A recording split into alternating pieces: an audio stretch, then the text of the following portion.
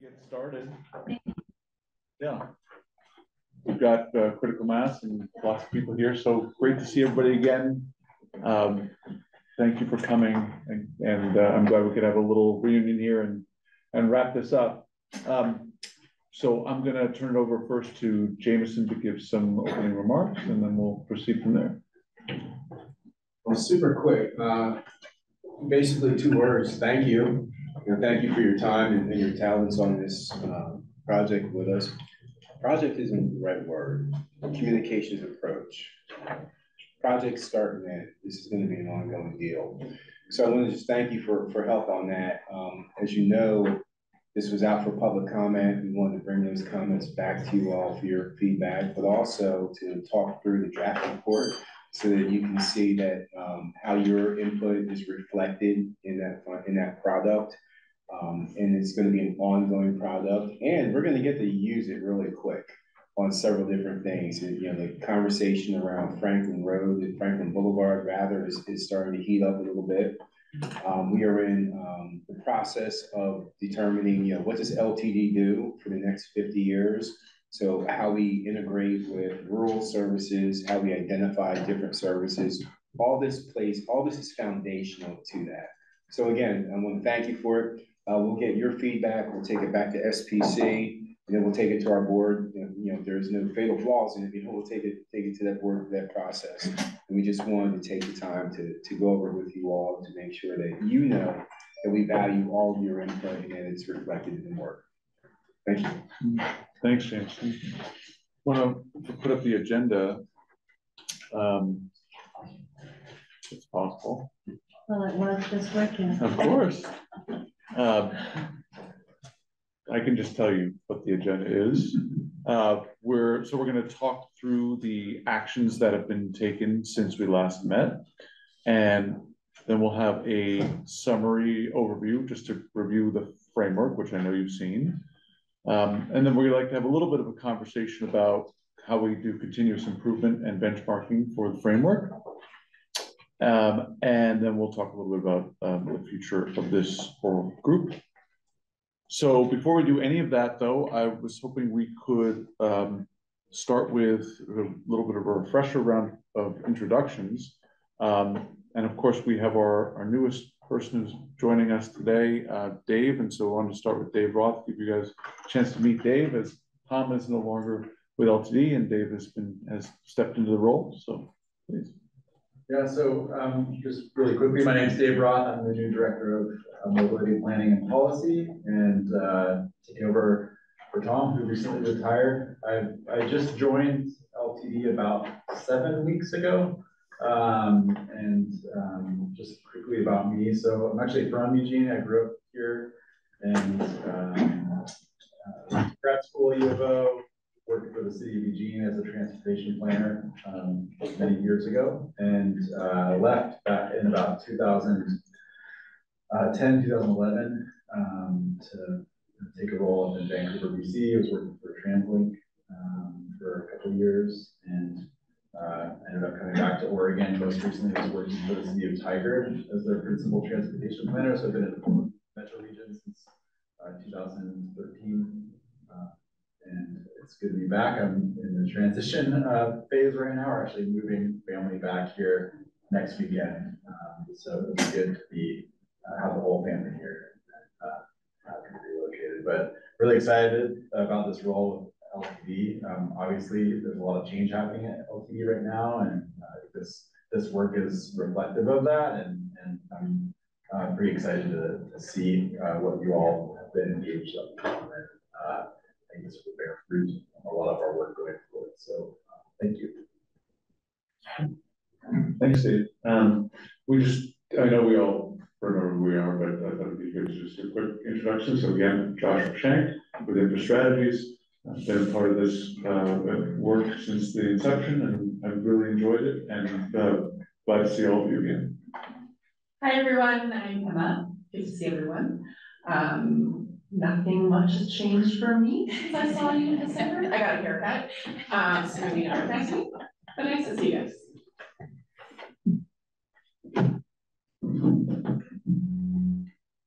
Hi, um, I'm I'm DJ. Again, I work at the University of Oregon and it's good to be here. It feels like we were here like a week ago, just sitting in this exact space. but- I'm uh, Phil Barrington, I work for CPC Management Corp. uh, here in town, and I did get my haircut since I last.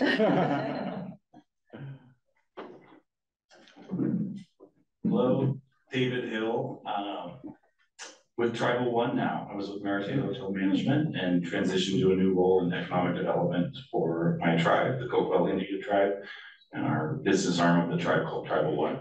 Good to be here. I'm Amber Glell. I have the honor to chair this committee, so welcome back, everybody. Um, I'm with Systems West Engineers. I also sit on the Springfield Chamber Board and the Wyoming Foundation Board, and welcome back, Dave. Hi, I'm Seth Sadowski. Um, great to be back. And for work, I work for the Oregon Department of Envi- Environmental Quality, but I think I'm here because I ride the bus regularly. Um, Daniel, I am the marketing coordinator at Bike Friday, a local bike manufacturer. Um, and I was lucky enough to work with uh, Amber as vice chair, and I was barely able to get a haircut this. Hi, I'm Melinda Preciado, Visual Chair Pacific Coast USA. And um, sadly, I'll be leaving this community and the state next week. I'll be moving to Arizona. Yeah, so I'll miss everybody and LTD. All the roads are closed, I get you there. And it's so hot there. It's too hot. My friend got us, we can't go. She said that about grandpa. Oh, no. She'll be back. Is your, is your crown valid there, or what's the, yeah? Is it one Is your crown valid there? Yes. Yeah, okay. Wanna make I'm sure. totally okay with Okay. it. I'll be winning the national title in July anyway. All right. My name is Linda Dugan. Um, I'm on the Southeast uh, Neighborhood Transportation Committee. Um, I was a special ed teacher for forty years, so I'm very interested in making sure that there's inclusion with uh, people who are disabled and also the elderly. And, and then I have a son who refuses to drive. He wants to ride the bus, so he's been riding the bus since he went to junior high school, and he's thirty-three now, so he's a dedicated bus rider. Pat, you would- Oh, I'm, I'm Matt Walsh, I'm with Lane Transit District. Joe McCormick, the Lane Transit District. Kelly Brown with Lane Transit District. Tammy Harris, Lane Transit District. All right, gang's all here. So uh, we wanted to, first of all, make sure that you've signed in if you haven't done that, uh, so we can make sure you get your stipend. And uh, we're gonna kick it off. Emma's gonna talk a little bit about the actions that have been taken since we last saw you, and just go through the project milestones generally. So we can go to the next slide. Also, I've been told to remind you guys, there's lots of pizza in the back, so you guys can go grab food and chow down and be offended. Um, we don't want it to go to waste. So we, um, did our sixth meeting in December of twenty twenty-three, which feels like last week. Um, and since then, we've been busy. We, um, convened a roundtable with community-based organizations. Um, many of those organizations we were put in contact with based on the connections from the CSC. So I think David had put us in contact with some folks and some, other- and I think Bill had also given some suggestions. And the purpose of that roundtable was to supplement um, the information that we received from the CSC, then also the public survey that we did, because we recognized that um, the survey was um, not as representative of LTD riders, and so um, meeting with CBOs who have staff that work with a variety of different populations was just one mechanism for making sure that those folks and um, what's important to them and their interests uh, were captured. Um, we'll go over in, on the next slide of who participated and what we discussed, but we also met with the LTD executive team and the LTD marketing team to kind of go over how, to kind of preview the framework and what was coming out of it and get their reactions, because we didn't want to recommend anything that wasn't going to actually be implementable or wasn't understood by the staff that would ultimately be responsible for this. Do folks have their? I don't know what the feedback is. I don't know why that. Um, and then we did a two-week public comment period, um, and that was after the CSC had viewed the draft. Uh, and that public comment period closed, uh, we presented to the strategic planning committee, which is an LTD uh, subcommittee, and got their comments. And Jameson mentioned we'll be going back to them very soon, and then hopefully bringing a final framework to the board. And so if you go to the next slide.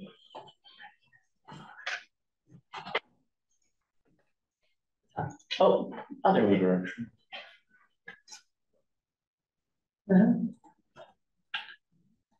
There we go. So this was um who we had participation from during the half day roundtable.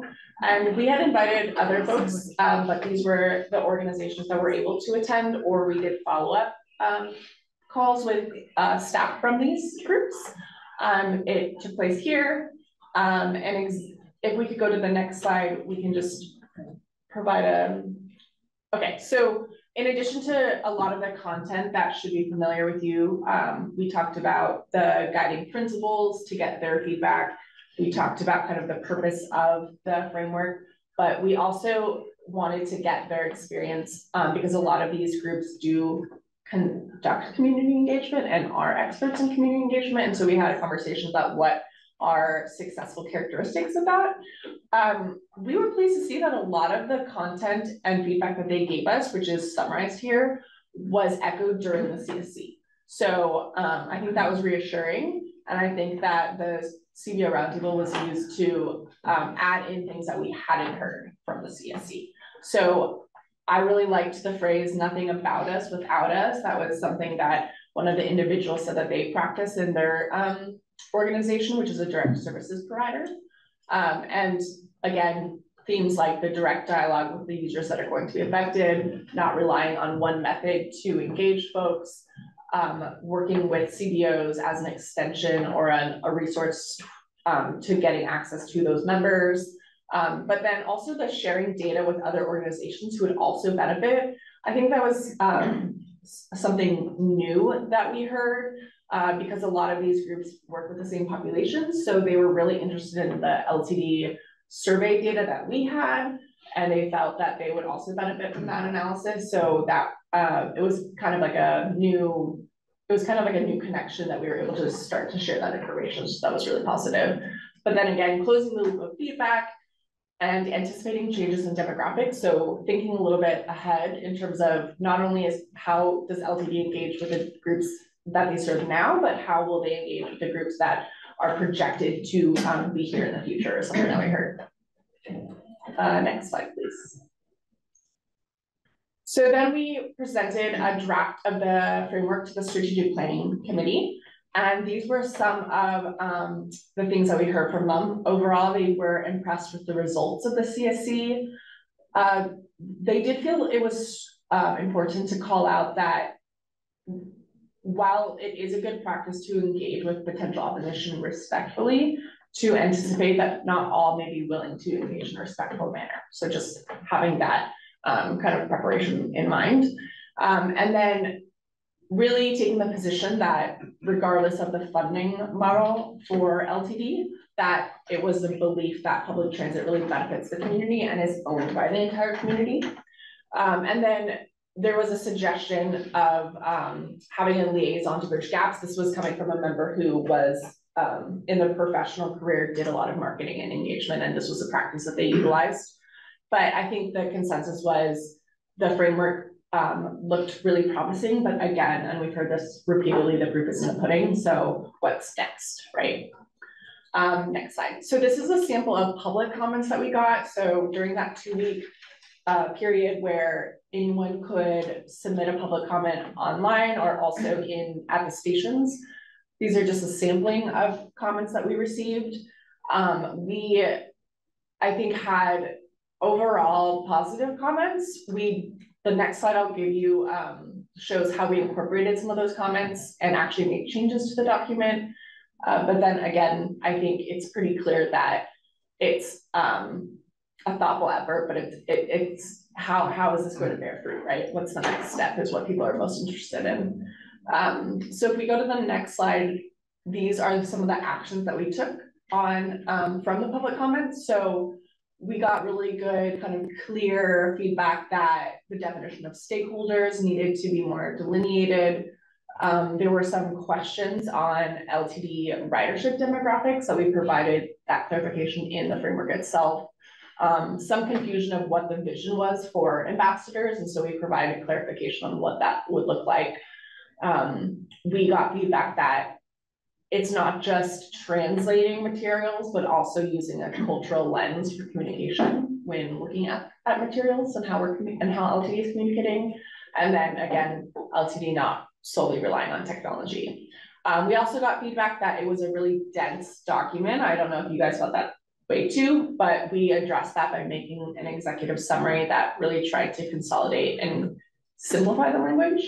And then we also got feedback that in addition to continuous improvement, which is something we're going to talk about today, um, there should be some sort of time frame that LTD is committing to um, to actually reevaluate and think about uh, the framework comprehensively and um, think about how to actually make any sort of adjustments. And so we talked with LTD and established that five-year time frame for this. Um, and so Joshua is going to go over the uh, draft final framework, proposed, I guess we're calling it a proposed final framework. Um, and then we'll get into talking more about continuous improvement and metrics and things like that. Or does anyone have any questions actually based on what I talked about? Okay. All right, uh, no questions or reactions to that so far? Okay, I'm just gonna breeze through the framework. I know that you've all seen it, um, but I just wanted us to have a chance, we wanted to have a chance for all of you to see it collectively. Um, um, so we can go through, uh, what it means and, and, and that way we can have a better discussion about the future. So again, the, the purpose that we all agreed on for what the framework would be, would be to improve interactions with the communities in the region, guide LTD in future engagement, standardize the LTD practices, um, and that this would be something that is not just an LTD internal document, but is really a public document to work with everybody on uh, specific engagement plans for different initiatives, not just projects, but any initiative that should come through LTD. Next slide. So uh, the idea of the framework is that there are these three kind of core principles that we adhere to, right? And some of them we've talked about already. One, that this is a living document. It is not set in stone and we're always going to be looking to improve. Uh, and we're going to talk more about that today. Two, that it is a community-driven document, meaning it was built by you guys as representatives of the community and that it can be changed by you guys. Um, and the third, it is inherently flexible and that's a little different than the living document. What that means is you're not just saying, well, this is how we do things rigidly. You're saying this is these are the suggestions, this is the framework for how we're going to do things. We understand that there are always different situations, different factors that might lead us to do things slightly differently. But this is not intended to be rigid in the time when you're engaging, and it's not intended to be rigid in the long term either.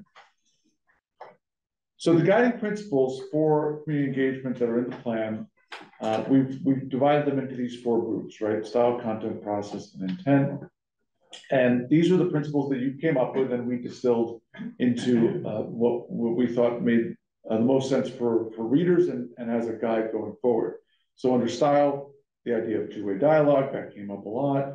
The idea that it's accessible to everyone, respectful, which as we know, not always gonna happen, but certainly the goal. Uh, active listening, something that, that we talked about a lot in this group. Um, that the idea that this would be data driven, that when we go out and, and talk to community, it's based on actual data, that we're clear about what we're trying to achieve. And this idea of fiscal transparency came up a lot, that we're going to try to make sure that when we're communicating, we're being honest about what the actual uh, financial issues are, not trying to hide any of that. And being outcome oriented in terms of the engagement, not trying to win every battle, but instead trying to think about what are we trying to get to and how do we uh, achieve that best. Uh, under process, we talked about the idea of a feedback loop, meaning that whatever we're hearing, we then are not, are reporting back, not just that we heard it, but what actions were taken or not taken based on the feedback we received. Benchmarking continuous improvement, not just for the plan that we're gonna talk about today, but that, that is a general process rule about how we're gonna conduct engagement. Uh, and then that the process itself is adaptable. And then finally, under intent, that the public engagement should be meaningful, not box checking exercises where we're just saying, oh, look, we did it. But that we're doing it with the purpose of, of, of actually trying to get real feedback that is incorporated and that makes the project or initiative better. And that the community comes first. The, the goal of engagement, the goal of what we're trying to achieve here is to serve the community, uh, and that's the priority. Next slide. So the essential practices that are in the plan uh, that we saw, that, that this group developed uh, in order to facilitate better engagement, understanding the demographics of the region and, and especially the riders and affected groups, mapping to the stakeholders to consider how interests, influence, and needs may differ. So spending the time to understand what the stakeholders might want beforehand, doing your work beforehand, uh, before you come in with any kind of uh, engagement strategy. And then developing the tailored approach to engagement to support the needs of the various communities. So recognizing that not, it's not one size fits all, and you have to do it differently depending on who you're talking to. So the tailored approach begins with starting with what are you trying to achieve? And I think that that was something we hope hope to hammer home as a theme during this process. We haven't we haven't achieved what we're trying to do, but what are we trying to do? That's the start starting point. Um, and then, okay, if that's the larger goal and we can agree on that, then what are the different issues, policies, or processes that we can analyze to figure out how to achieve that? What assumptions are we bringing in on both sides? What are, what are we starting with as our assumptions for how this is going to proceed? And then in, inclusion. So who's going to be impacted and are they being included is a key question that you have to ask with every engagement. Who's missing and, and how can we do something different to make sure that they, brought, they are brought to the table? Uh, how are we intentionally engaging multiple perspectives? So not just focusing either on the folks who are the problem or the folks who are rah rah yay, but actually making sure that we're getting all the perspectives that are necessary and then there's going to be barriers to participation for different groups, for different people. How are we addressing that? How are we getting ahead of that to make sure those people can have a voice? So, no? Yeah. Okay. Yeah. So can we go to the next slide? No, the other way. So we talked about the following strategies for community engagement, and we have this one building on another because the solid foundation that we all discussed and we put in the framework is that you got to work to build trust first as a, uh, a prelude, prerequisite absolutely everything else you're doing. So working to build trust being something that LTD always needs to be doing in order to then be successful when they go to another, the next strategy, which is engaging in collaborative, honest, and transparent conversations. You can't have one without the other, right? You have to build trust in order for people to believe that you're going to be collaborative, honest, and transparent. And then you have to prove it by actually following through on that, communicating clearly on what people need to hear, not just telling the story that you want to tell or spinning it in the way you want it to be, but clearly to what actual people really need to hear for them to understand the project and for them to participate effectively in the discussion. And then finally, as a capstone, the focus on riders uh, being the ultimate goal of what we're trying to achieve here. Um, if the, if the, if the purpose is to take care of riders and help riders, then that has to be where you kind of wind up with any discussion and initiative. Um, and then to go back a slide to priority strategies and tactics, um, these are, remember we had that whole conversation about strategy and tactics. We had a lot of stuff here on the board. We tried to distill it into these categories. Uh, one of the things, a lot of discussion about engaging government stakeholders, utilizing that asset and, and, and those folks as allies as you go out there is something that LTD can do better. Getting out ahead of the story so that it's the first time people hear about it is not the, the wrong message, that we're out there talking about it before people are coming to engagements so that they have some idea what's going on and that the story is part being told by LTD being present with riders as being something that, that always seeking to do, whether it's simply by riding the bus regularly, having board members ride the bus more regularly, or being a, a part of the system. Uh, LTD needs to be out there experiencing the same thing that other people are experiencing. And engaging potential opposition. So seeing ahead a little bit around the corner to see, okay, who are the potential people who might be opposed to this? And working with them before it becomes a problem, rather than waiting for them to raise their hand. So that's the, the, the, the way that the framework, um, turned out. I feel like it was an amazing piece of work. I'm really happy with all that went into it. I hope you feel similarly, and based on the feedback we received, I think you do. Um, what we wanted to do next, unless there are any questions on this, is talk about continuous improvement and benchmarking for the framework, but any clarifications or remaining questions on the framework as, as it came in? If we have some additions to like the, um, the groups, um, the stakeholders, um, just when, whenever that's an opportunity, I have a couple that I think should be in there. Yeah, you can, I mean, you can give, you can, we can talk about it now and I can, that's a fairly simple thing with looking at the existing groups and how it fits in. Otherwise, I thought was, was great. Yeah, let's, I'm really, um, optimistic. Good. Good changes. Um, so, uh, under the tribes, um, I know that, um, the Kalapuya are not a federally recognized tribe, but they are part of, um, the, um, Grand Ronde. But I just thought since we are on Kalapuya land, um, it might be good to have them listed. And They do have a website and they have tribe, I, I know one of the elders, so they're, they're very present in our community. Okay. Um, the other is that, um, unless I didn't see it in the list of, um, what you're calling it. I actually did read the whole thing. Good. Took me two days, but, um, We were writing it, hopefully, But- hoping that someone would read it. so- sorry, can I just clarify in the first comment? So we have mm-hmm. that, we have the, Co- I don't know, Kokil, Kokil? Indian tribe called out, but did you want it? that's Was, not, I'm talking about Kalapuya, oh, I'm sorry, I didn't hear you. the Kalapuya tribe, Okay, different tribe, different tribe, sorry about that. and this is Kalapuya land. Got it. And if you go to different functions in our community, they will say that at the beginning of the meeting. Mm-hmm. So, um, the other is under healthcare and social service providers, and I didn't really see a designation for, um, uh, supportive shelters, Eugene Rest Stop, um, program, Nightingales, which is in my neighborhood, uh, which is a nonprofit that's part of the Eugene, um, Rest Stop program. Um, Nightingale, you said? Yeah, that's just one place, but it's the Eugene Shelter, um, Rest Stop Program is what it's called, and it entails several different places. And also, um, Peace Village is under, um, the name of the group?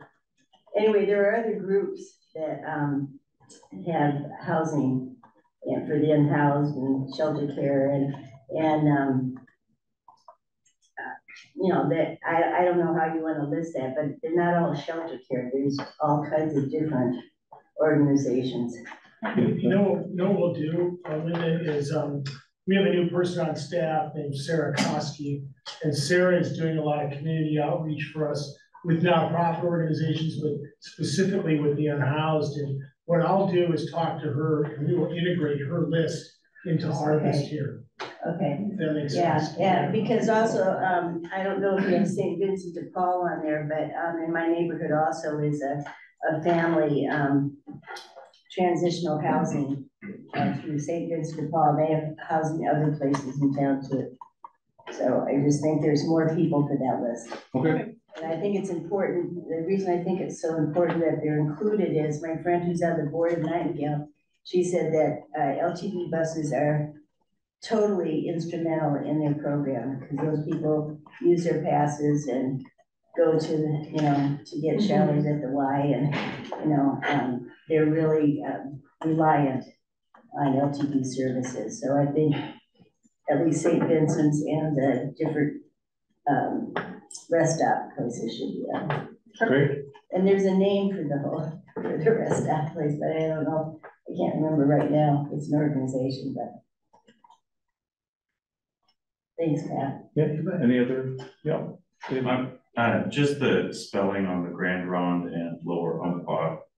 I'm a big like grammar spelling, so when I first read the framework, I think I had a lot of recommendations, but it's Umpqua, there's no L on the, on the end of Umpqua, and then it's grand, like it's a, no grande, but just Thank you. grand. Yeah, And I will say, yeah, I echo the Kalapuya tribe, the descendants of the Grand Ronde and, um, Celeste it here. right, so let's do it. Great. Thank you. Okay. So what we were hoping to do uh, with our time today is to talk through uh, continuous improvement and benchmarking uh, as the first exercise. So if we go to the next slide.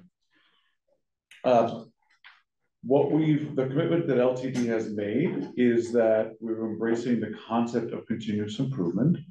uh, which means that this is just the beginning of a renewed effort at better community engagement. And that we're going to learn as we go along. So that's what every human being does, right? And that's what we're supposed to be doing, and that's what we're gonna have this organization do. So what we want to talk about is, uh, I'm hearing from you about two key things. One, what can LTD do to better understand how well it is performing, right? So what are the things that LTD should be doing um, as this process gets underway to get feedback specifically on how well it's implementing and fulfilling the promise and the aims of this framework. And then second, are there specific benchmarks or metrics that LTD should be thinking about or using to demonstrate that progress? Uh, things that we should be tracking from the very beginning to say, okay, we started here, how we doing? Um, because these are the, the ways that we'll, we can see LTD understanding, um, better, uh, where the changes are, what the, what needs to be made, what changes need to be made to the framework as it goes along. They have to be able to understand how well they're doing, and they have to be able to understand the progress they're making against certain benchmarks. So any initial thoughts on ways they can understand it or specific benchmarks and metrics? Yeah, so. Um. So to the first question, I guess one of the, um. This is more qualitative than quantitative, but I sort of feel like. Everybody involved in trying to figure out how to deliver transit well should. Once in a while, try to go someplace they don't usually go and see what the service is really like. Mhm. And, you know, so much of our, I mean, course, it makes sense that so much of our transit is dedicated to getting people to and from our downtowns during the regular working day. But, you know, I feel like that is, um, based on a model that's not, and to and from the university, obviously that gets a lot of use, but, you know, I think it, it's, you know, trying to go to the hospital on the bus is shocking. Um, you know, things like that, and I think that's, sort of a qualitative thing to understand how you're performing. Um, you know, in terms of quantitative benchmarks, obviously, you've got ridership data is a huge, a huge issue there, but, um, there probably are other good quantitative ideas. I was just sort of that qualitative thing right there was a big one for me. So when you, when you say that, just to clarify, so what, what, what is it that you would like to see that would indicate that LTD is doing a better job of addressing uh, engagement on that issue, right? Like the- addressing the fact that, because I understand exactly what you're saying. Like there's so many times I've tried to take transit to places that are not the typical places and it's really difficult. Yeah, How, so what can LTD to show, pro- do to show progress on, on engagement on that topic? Mean, I guess the, the really thing, the thing is, is, is there a mark, you know? Is it, there's no transit because I chose a weird place to try to go that nobody else wants to go to? Or is it, there's no transit because there's a big gap in our system that you need to figure out how to fix? Yeah. So, so part of what LTD But- could, oh, go ahead. Yeah, I mean, I'm not sure. And then, I mean, I guess that's the other thing is, you know, you get on the bus and you talk to the other people on the bus, and that's a good time to work on engagement. Right, right, so part of, so part of the framework is, as we talked about, is, is being on, being present, being with riders. And you're saying that when doing that, that's a great way to get feedback on how well engagement is going.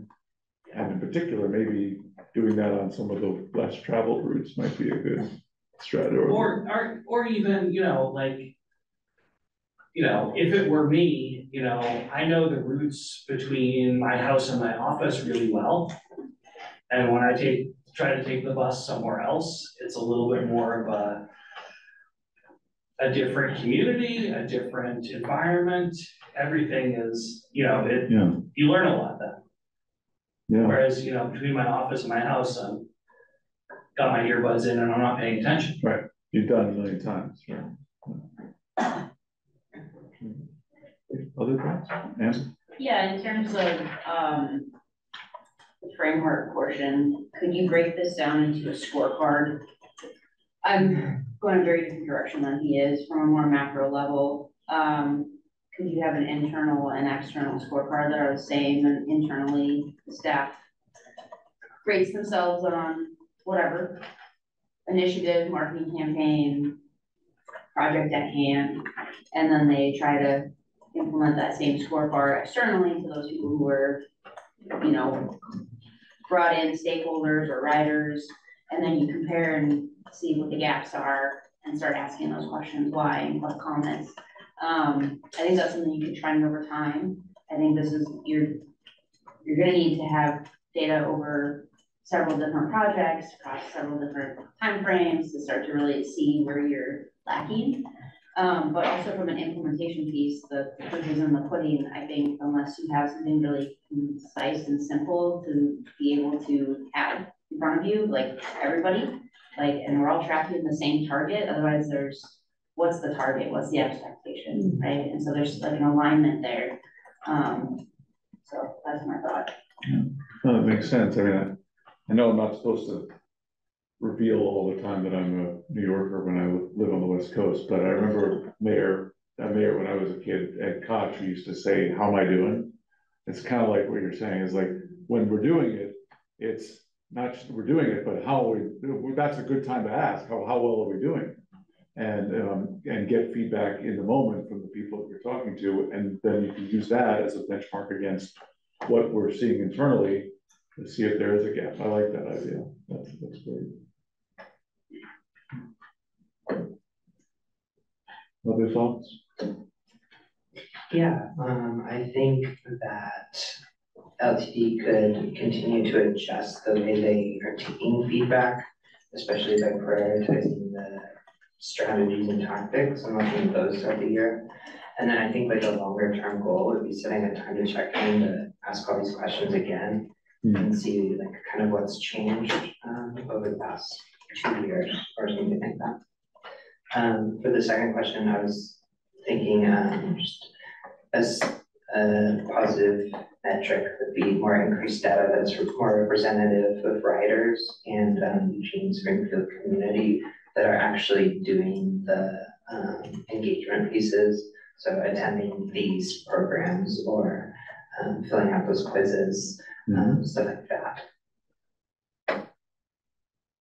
Sorry, can I ask a clarifying question? So the, the benchmark or the metric would be, does LTD actually have data that when they parse it by demographics and other things, that that data is representative of the riders? Or Yeah, I would say both the ridership and um the community as a whole, because then you can kind of see, oh, maybe there is more of an increase in those populations that we weren't reaching in the first place, which is something we talked about a lot, like who's not riding with us. Um, Oh, I see. So Yeah. seeing if the ridership, right, the, the demographics of the ridership, you mean? Yeah. Okay.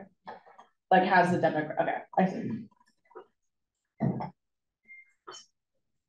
All right, yes, Linda. Um, it, it's kind of related to this, but, um, and not to dwell too much on the past, but in the past, I have gone to many of the kind of open houses or whatever that LTD had around town, and, um, not only me, but many, many people were surprised that we were going there to find out what LTD was doing and being told, rather than there wasn't an opportunity, I mean, zero, because we ask, zero opportunity to actually have any input or any, um, questioning Yeah. or rebuttal about what was in the plans. And I, I think that turned a lot of people off, to be honest. And, um, so any improvement if, if you have any kind of open house kind of thing like that, is to actually let, allow time for people to have input. Oh, yeah, really, yeah, that would be, that, so it, what you're saying is, just as you would in a, the engagement, as we talked about the framework, like you want that, that input to be meaningful and you want it to be silly, like, not, not just that it has to exist, but it has to actually be incorporated and, and responded to. But also with respect to how well are we doing when we're, when we're doing what Amber's suggesting and kind of getting out there, how well are we doing on this framework? That is also input that we wanna make sure we're really incorporating and bringing in, Yeah, I think, um, you know, this kind of gets to the, the second question and maybe a little bit, uh, like what Seth was, was talking about. Of being, a- uh, being a little more qualitative about some of the assessments that you do too. I mean, it's easy to kind of go down this rabbit hole of looking for metrics know, you count the number of heads that come into the room and giving feedback or testimony or input, um, or been told uh, what it is, but you miss sort of the, the story that they are trying to tell you in part. So I think it kind of gets to, a little bit in conflict about the feedback loop as part of the process of their guiding principles and the data driven about content. So it's a hard thing to do to where you can, Ed Koch might say, how am I doing? And somebody can tell them, hey, Mayor, you're doing great. Seventy-three percent of the people polled say you're doing a great job. But that may belie something that's underneath, you know, the twenty-seven percent, or even of the seventy-three percent, there's some discontent or something else that's not, that's being missed. Um, so I think there is a qualitative piece that is always gonna be part of what's what I'm impressed by is this sort of feedback loop. And even asking the questions that brought us here as part of this process is an extraordinary thing. And as you went through all the, the framework elements and put them up there, I was thinking, oh my gosh. If it, instead of saying LTD, it said city of whatever, or whatever other jurisdiction, hand this to them and say, you should be doing this too. yeah. So it's super important for your, your partners, the governmental partners that LTD has, to be doing something similar as well. Because otherwise, you may be doing really great outreach Yeah. and getting the, the pulse of the community, what they want. But your partner who may, hmm. may actually have the dollars in hand or something is not, where they're missing the, this. Well, and the people may not be able to necessarily distinguish between those, right? Like, uh, the average person isn't going out there, and, oh, I understand that's LTD and that's the city, and therefore it's two different things, like, you think of government services as government services. right? But I, I, you're interested, you was interested in the first point you made, is kind of like, if I'm, if I'm understanding you correctly, that data is important, but it's one input. And it's not, you can't rely on quantitative data as being the only input, because you'll go down the wrong path. So it's, it's an input, it's useful, but that doesn't mean that we aren't also collecting other non-quantitative data that's highly relevant. Yeah, oh, yeah. Kind of on that same, same line is that I, I know in the past anyway, that ridership is a major data, you know, but, um, I also think that different, different things influence that ridership, and, um, you have to have it available for people to use it. And so if it's not available, you're not gonna have, you know, for example, the bus in my neighborhood, we have two buses nearby. And, um, it's now switched to every hour. They understand we need bus drivers. And then at the event on Sunday, Jameson asked the person in front of me if he wanted to be a bus driver. And you see the signs on the buses, so I, you know. He didn't ask you? no, no, no, he, he knows I'm retired. But, um, you know, I, I just think that, so when it's only going every hour, my son who goes to volunteers and volunteers in medicine takes him an hour and a half to get there, an hour and a half to get home. And then when you add in now that it's every hour rather than half hour, so you might lose some ridership during thi- this time, Sure. when things have been cut back. So I think it's important to note, to use that ridership data and look at the circumstances. And that if it's not there, people aren't gonna use it, so. And, and plus it needs to be there for the people that need it, uh, and that.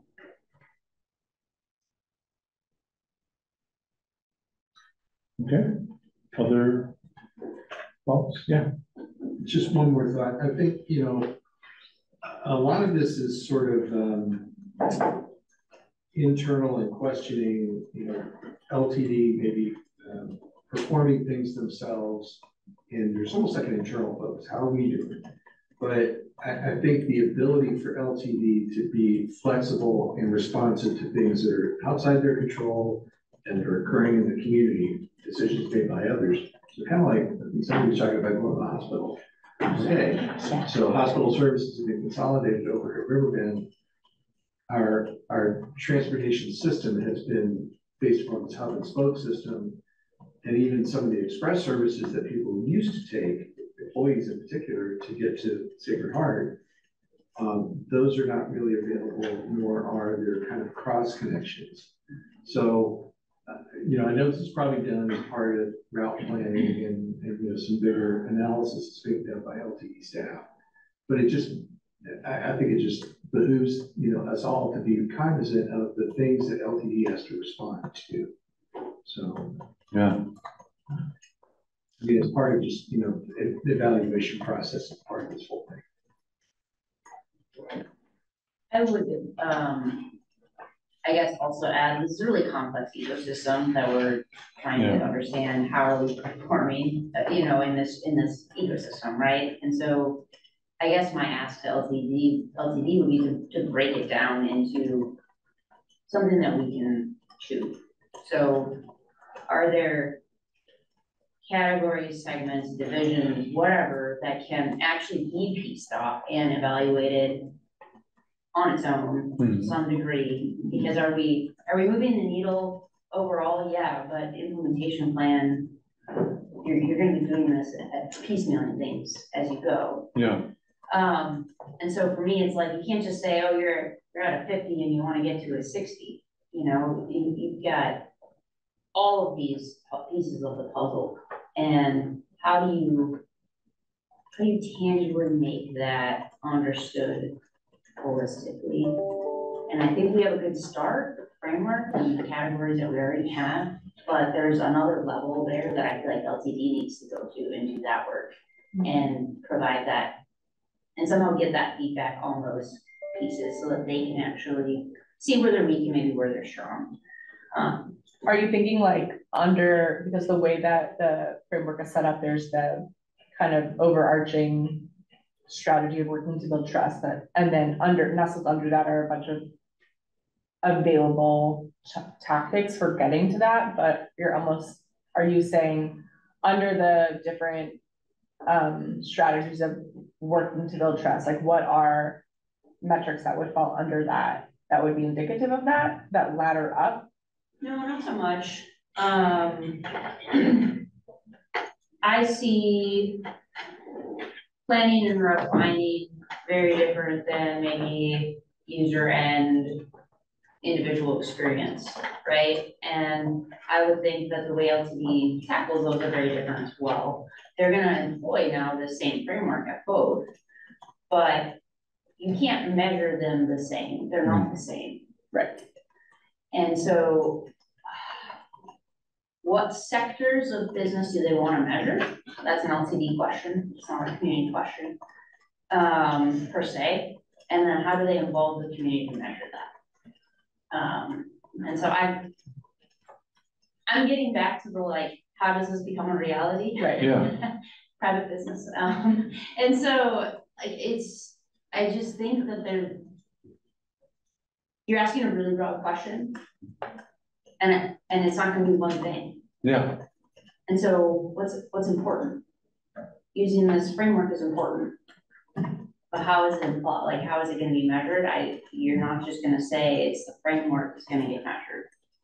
It's how the framework gets used, is gonna be measured, how it's used, it's gonna be different for however many different activities and initiatives they have going on. Who's involved.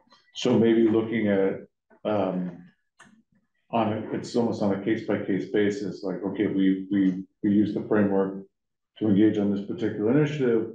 So before we start, let's think about what would be a positive outcome that we might see from this and measure ourselves against that. Yeah, I mean, that's going to the very granular level, level, and I'm not sure it's practical either.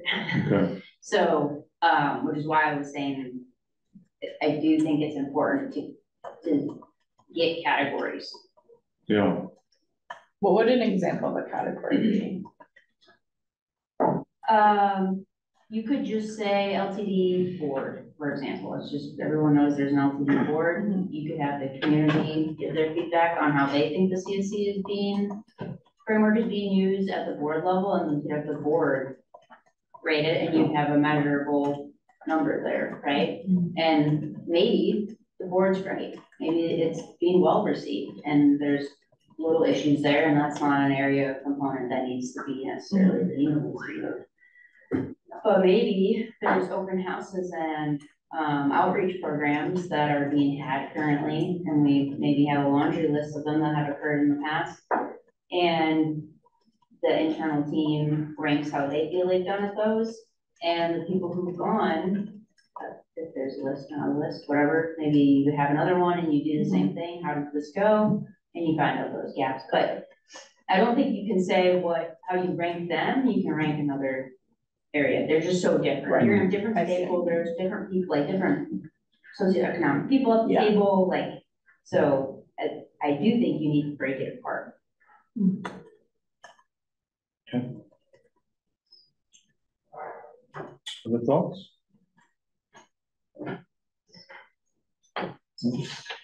Okay, uh, so what we wanted to do for our final exercise as group today um, is to talk a little bit about future and uh, what this looks like. Um, so hoping to do this as kind of more of a roundtable discussion. I don't know if you ever played the game with your kids at Roses and Thorns, but that's something that I used to do with my kids saying, what happened to you that you like today? and What happened to you tonight? Um, and this is, you know, we, we would like to know, okay, whether it's this group or any other group like this, uh, what do we want to learn from this experience about how we can operate it uh, in the future and, and how it could be more effective? So if we could go around, I think it would be great if everyone could participate, if that's possible, to say, what did you like about this experience and the CSC? And then if there are any opportunities for improvement for how LTD should do this kind of exercise in the future, conduct this in the future, both those would be really helpful uh, to us. So Linda, is it okay if we start with you? Sure, um, I thought we had a good cross-section of people in the community representing on the board, I mean, on the, on the council, um. I thought we did some really hard work, good work, um, I'm very pleased with the product. Um, I'm of course looking forward to how it's gonna be implemented. Um, and, uh, I, I would like to see us continue from time to time if needed. You know, if, if it's a, a time that things need to be looked at again or revised or additions or whatever. Um, I think it's been an opportunity for the, the public to have some input, which I really welcome, because I, I've been in Eugene fifty years and I've, I've never felt as optimistic as I am about the input with LTD. And would like to see it with the cities too, if we could do that. We try. Great, Thank you. No thorns. No thorns, No, huh? no, pizza's good too. Could be better, right? Yeah, yeah, yeah, could be hot. Well, Um, I think the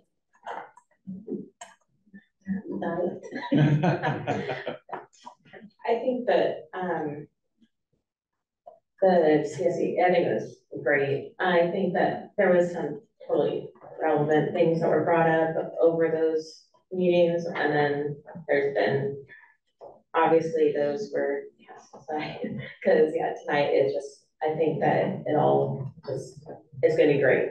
Definitely optimistic on everything, and of course, the new president that LTD has is beyond amazing, so I think that helps. yeah, I definitely see, uh, a lot of that negativity that the community complains about, whether it's orange or not. Um, I think that it will be definitely getting better, I see it. Um, and, um, so what, the question, the opportunities for improvement, can you? I mean, just, uh, if, if, if LTD is gonna undertake something like this in the future, anything you might do differently or, you know, suggestions you might have for making it better.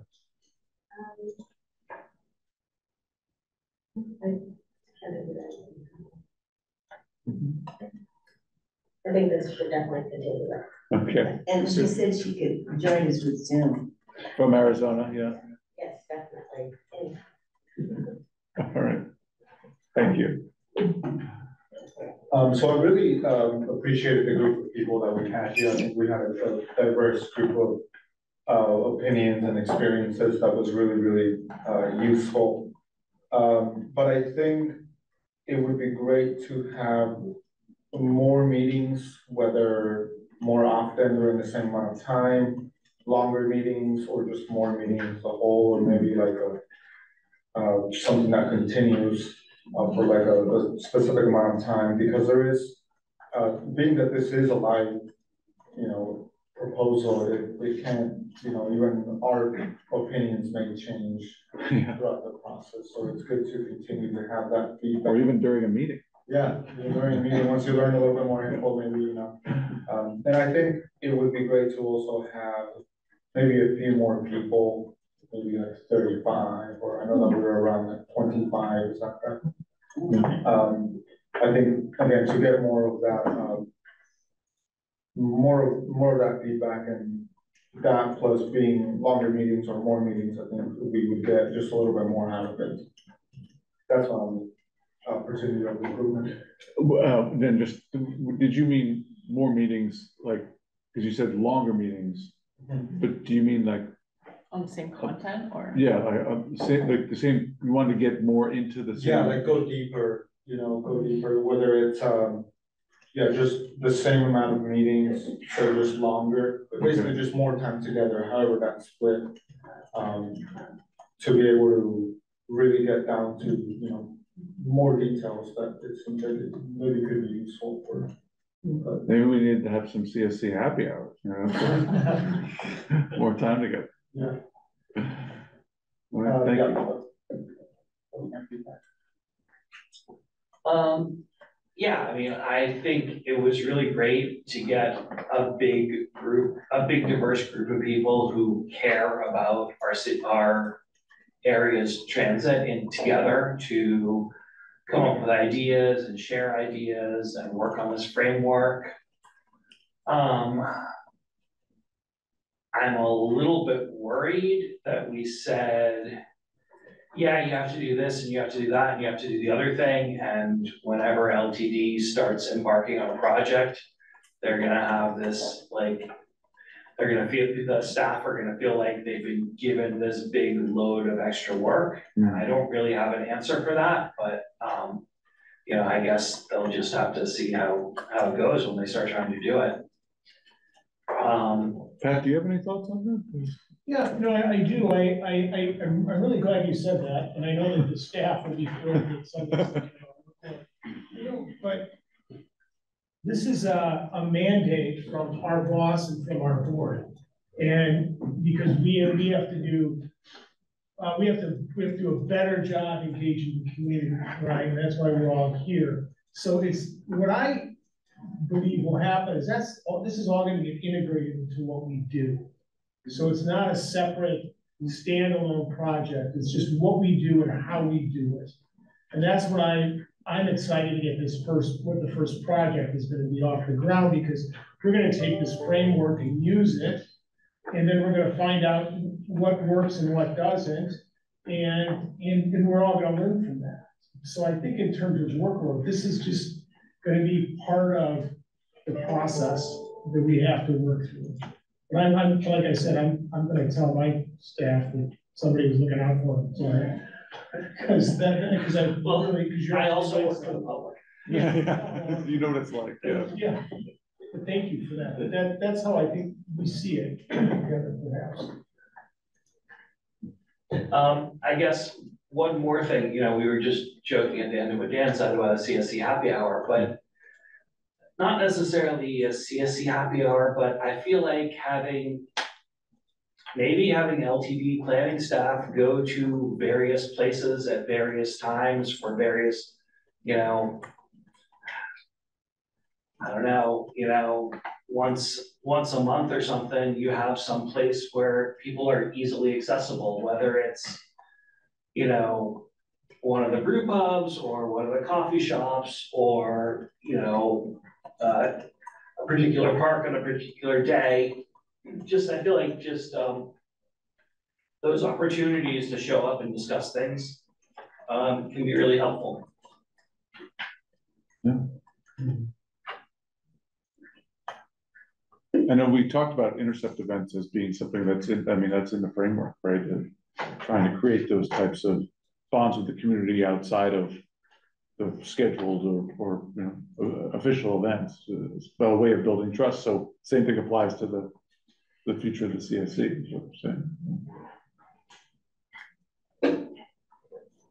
Um, what did I like about CS, CSC? I would say the, the people, for sure, just being able to connect with people that I haven't been in this community, but, um, and their perspectives. I think an opportunity for improvement as the sessions went on, felt like there's probably a lot of untapped potential at this table, this room table, this group. Um, the more I got to hear from everybody and learn about them and generally who I also knew from the community in different roles. Um, so I'm not sure if there'd be a way we could facilitate some of these slightly different so that there was more opportunity for um, people to really build on some conversations uh, and ideas in a, in a different manner, whether it be focused work sessions or work sessions by what you're most passionate about or most skilled for.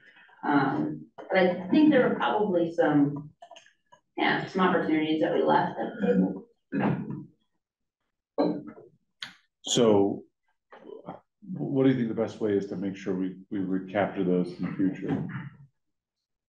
Yeah, I, I don't necessarily have all the answers, um, but I, I think sure, probably facilitating it slightly differently. Um, and I don't know if that's time-based or skill-based or smaller work groups and coming back to the greater whole. But what we did was good, but I think there were probably better ways to get more out of people. I think there were probably not enough comments.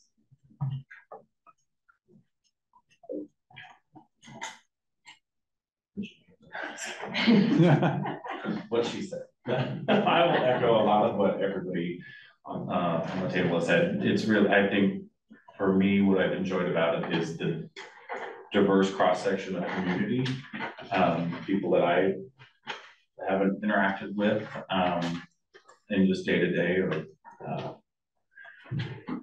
I really come back to the piece that, that sort of bottom of the pyramid, the trust piece, and sort of what Seth was saying is LTD showing up, even when they're not even supposed to be, or not supposed to be, but not intended to be in the room, but they're just part of the community and sort of interwoven in the fabric of events and, um, tabling or marketing or outreach beyond sort of the, the four walls here.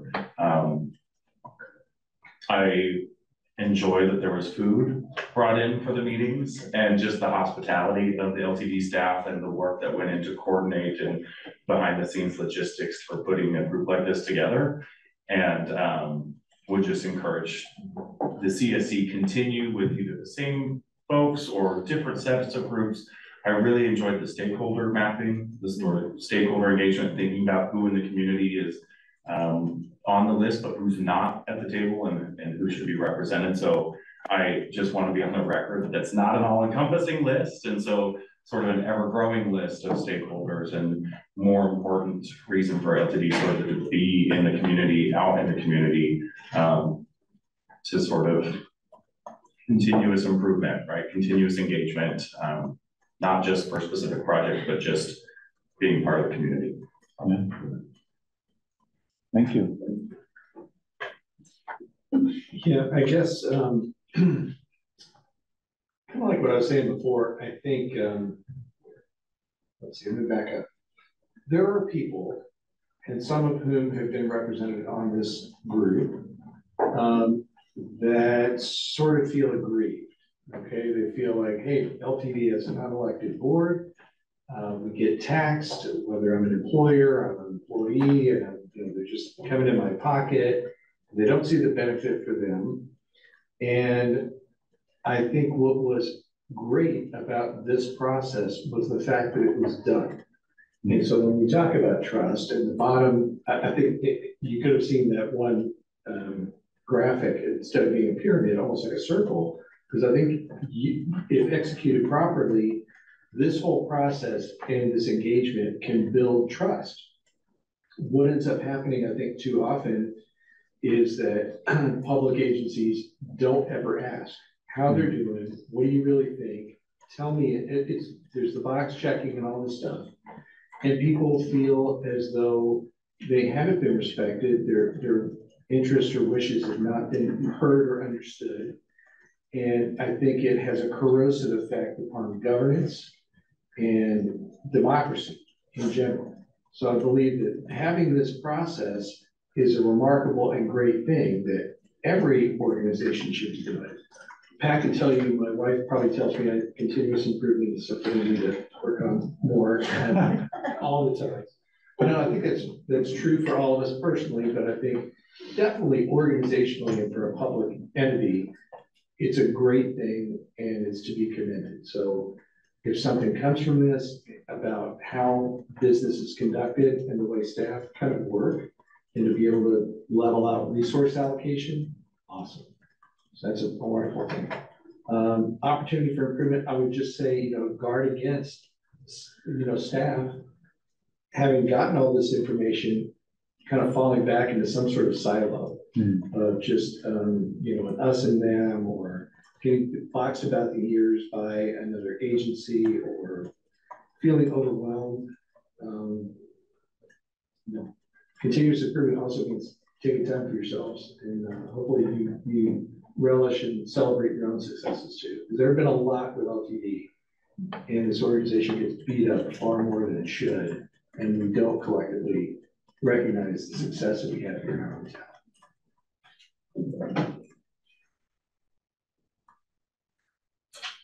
Um, I really enjoyed the, the meetings. I think being able to direct the impact on my community has been very cool. Um, this is a city I moved to from Texas. And so it's, um, a big adjustment period for sure, but being able to be like excited and passionate about like the services here, um, that's been very cool. Um, I think an opportunity for improvement is just more, uh, intentional space for alternative feedback, um, throughout.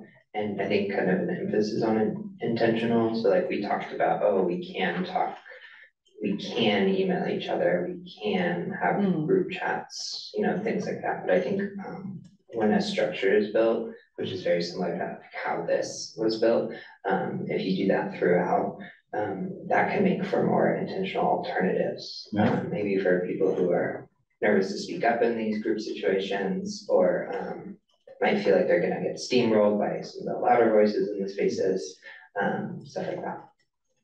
And then I also want to suggest if a group like this were operating in the future, I, I do recall that we got a lot of applicants for this. And I do think there would be people continued, um, continuous amounts of people who would be able to provide an impact on LTD, um, outside of ourselves as well. Um, and, you know, if we had twelve more people talking about stakeholders and reflecting on our goals, um, I think that's a better, um, method moving forward. Thank you. I really like, like what you said about alternative ways to get feedback, because you're right, not everybody likes to speak in a public meeting in, a- in, in, a public sense in that direct way. But also, it's like, it's so typical transit agencies, right, to think like, oh, well, I'll bring everyone together and have opportunity for feedback, like, there's many other ways for people to communicate. And thinking about all those ways is part of what we should all be doing, so it's great. Um, so that's, uh, that's mostly what we wanted to accomplish today. Um, I don't have any concluding remarks other than to say I, I really enjoyed as the consultant on this project and uh, being not only a part of LTD and, and working with the staff here, which has been wonderful, um, but also working with all of you and being a part of something that frankly, as we've talked about, is unique. Um, not a lot of agencies do this. I don't know of any that have done it to this extent. And we were just trying to figure it out as we went along too, right? Because we didn't have a model for this. Um, and all of you were really helpful and supportive in that. And I think we're very respectful to each other, to us, to LTD staff. And that's what made this um, successful. And I've been part of a lot of community groups and organizations uh, and meetings where that's not been the case. Um, so thank you for your participation and for really putting in the effort. Yeah. So. It's really crazy idea, but, Yeah. right, called a crazy idea. So I'm wondering, is there a way we can educate um, those people that I call the lemon heads? And I know we had a couple in the meeting before. And sour attitudes. Um, is there a way to maybe get it educated more out there? I mean, LTD's already doing amazing, but I mean, maybe what does LTD do and why it is so crucial for the community and for many people out there in the community? And why we get taxed, I mean, when my spouse worked for LTD, tax too, and she worked LTD. I mean, it's only a smidge, but why is it important? And then, um, if we didn't have certain things like that, it's like, what we'd be dealing with, and then we'd still complain. So it's like maybe getting more of that out there, and then, um, yeah, just really highlighting the amazing work that LT does and how it benefits everybody. So then my crazy idea. Yes. Totally like, like, you know, I don't know, if it's just gonna be totally weird, but I'm weird, so, and, um, what about having, like, if these meetings continue, like in the future, or maybe even other board meetings? Um, have the members go out there and experience what it's like for different users of the bus. Like whether they're homeless and they're carrying a bunch of stuff, Mhm. or in a wheelchair, or a walker, or they're blind, or carrying a chair. I mean, the list goes on and on, so. um, Like a ride along. Yeah, like actually, go out there and just see what it's like. Um, I mean, I don't think that's crazy at all. It's, I think it's very much part of what the framework is getting at, right? In, in how you guys designed it is because writers are at the top of that pyramid and because getting out there and being part of the system is a component of what LTD should be doing.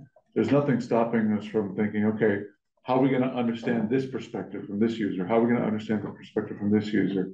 I think that fits very well with what we, what we've been discussing for the last few months. And not just to go out, just to get on the bus, like, okay, I'm gonna pull up the cover and then take the wheelchair out or whatever. Right. But actually like experience the whole thing, going on the sidewalk, Right, going from bus to bus, or if there is those, um, I- luckily I've never had to experience it, but like if there's a reroute or whatever, like, and they have to go a different way.